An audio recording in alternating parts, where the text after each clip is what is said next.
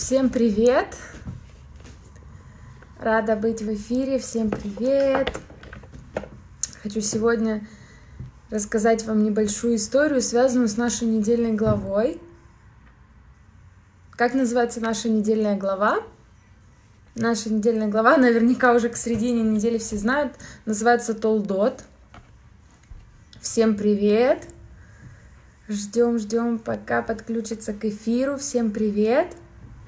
Всем привет! Рада видеть всех. Всем привет!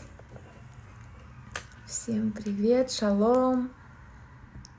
Шалом!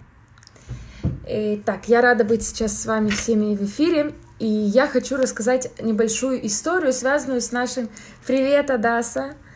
Максим, Саид. Всем привет! Я хочу поделиться с вами Всем шалом! Э, в общем, хочу поделиться с вами небольшой историей, которая связана с нашей недельной главой. Однажды в одном маленьком местечке жил такой себе Йоселе, э, который всю жизнь он просил у Всевышнего благословения на богатство. Он говорил, Всевышний, ну мне надо деньги, мне нужно отдавать людям много цдаки. Ты же хочешь, чтобы я давал цдаку? Всевышний, мне нужно построить хороший дом для моей жены. Пожалуйста, ты же хочешь, чтобы у нас был хороший дом? Потом он говорил, Всевышний, э, я хочу принимать у себя много гостей. Ты же хочешь, чтобы у меня было много еды? И так он всегда говорил Всевышнему, пожалуйста, благослови меня богатством, пожалуйста, пожалуйста. И потом ему э, начали сниться сны. Снится этому Йоселе, что ему нужно поехать э, куда-то в Прагу под каким-то мостом э, за 3-9 земель, в общем, за три поворота направо, потом три поворота налево, поехать и под мостом Всевышний как будто бы во сне говорит ему, там под мостом будет, э, ты найдешь сокровище. Он думает, блин, если ехать в эту Прагу, это тратит все деньги, все сбережения, которые у него есть. Что же делать? Что, что же делать? Ну ладно, если, если нужно, так я, я поеду. В общем, если Всевышний дает как бы благословение, да, ему снится сон, мало ли это вещий сон. В общем, я поеду. И так он э, едет в эту Прагу, там повозка ломается, лошадь падает, меняет повозки. В общем, не знаю, как доезжает сначала там три раза направо, три раза налево, доезжает до этого моста и думает, где сокровище? Берет какую-то палку, лопату, начинает копать. Где сокровище? Где сокровище? В общем, и не может найти. Копал бедный там до ночи, копал и не мог найти. И ночью там проезжает какая-то повозка, и ему кто-то говорит, эй, ты что тут один делаешь ночью, что, что ты тут делаешь? Он говорит, мне приснился сон, что здесь спрятано сокровище, понимаешь? А тот говорит, надо же, мне тоже приснился сон. Представляешь, мне приснился сон, что в каком-то местечке у Йоселе такого-то, и говорит его имя, в печи прям в его доме спрятано сокровище. А тот стоит, что тебе приснилось? Потому что тот сказал его имя и фамилию, что у него в доме спрятано сокровище.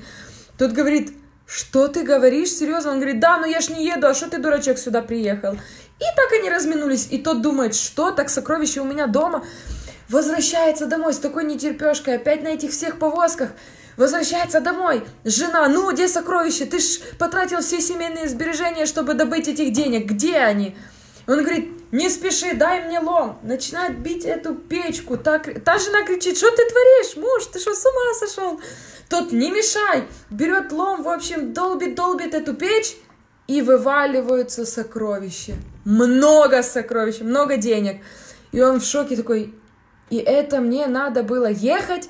Представляете, то есть Всевышний ему дал знак, что ему надо было ехать вообще куда-то туда, чтобы там найти ответ, да, что порой мы или не готовы, или должны что-то сделать для этого, да, это во всем мы в прошлый раз тоже говорили о том, что иудаизм это не то, что даже что религия, это просто народ действия. Мы сказали сначала нахну, мы наасе венишма, мы сначала сделаем, а потом послушаем. Итак, Иц, Иц, э, чем занимался Яков вообще э, в своей жизни? Чем он занимался? Кто знает? Яков, он э, не то что зарабатывал на жизнь, он просто у него была такая идея копать колодцы. Зачем он это делал? Не то что он только для себя копал колодцы, он это делал для всего народа. Он знал, что они, они живут в месте, где нет воды, где засуха, где очень тяжело. И он знал, что это его обязанность обеспечивать народ водой. Но филистимляне, с которыми они жили, они эту его идею пытались закрыть, потому что это мешало, там люди должны были куда-то ходить, набирать эту воду с колодца. Они закапывали эти колодцы. Но что делал Яков? Он все равно их опять раскапывал, опять это все делал и так далее.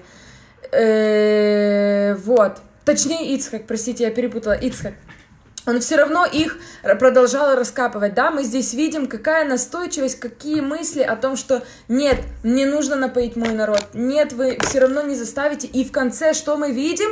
И в конце царь филистимлян начинает договариваться с Ицхаком, ну ладно, давай оставим, давай мы подумаем, как мы это будем делать. То есть если на начальных этапах Ицхак не хотел облегчить жизнь народа, да, если бы он не хотел копать эти колодцы, несмотря на то, что весь его труд потом вот так уходил в никуда, если бы он это не продолжал бы делать, то этого бы не было ничего. И так мы, когда мы за что-то беремся, когда мы начинаем воплощать в жизнь наши мечты, наши, мы начинаем стараться ради какого-то дела, ради наших идей, нам начинает быть трудно, нам, нам начинают закапываться эти колодцы. Они начинают закапываться усталостью, мыслями, что это никому не надо, у меня не получится. Вот сейчас, да, у каждого есть какие-то идеи, и мы думаем, а, наверное, нам не надо. И этот колодец, он закапывается. Нет, мы должны продолжать действовать, как Ицхак. И тогда Яцерарав, который в нас сидит, вот это злое начало, которое мешает нас взять себя в руки – оно перестанет нам мешать. Нужно вот эту ступеньку просто ее перебороть, просто перешагнуть, и у нас все получится. Реально, я по себе знаю, вот сейчас я хочу одно дело воплотить, и я делаю, делаю, и потом ребенок начинает плакать, все, я думаю, да ладно, кому это надо, кому это надо. И хорошо, что рядом есть муж, который говорит, нет, это надо, нет, ты должна, нет, давай у тебя получится. И так и мы, давайте окружать себя людьми, которые в нас верят, не боятся говорить им о наших планах, мечтах.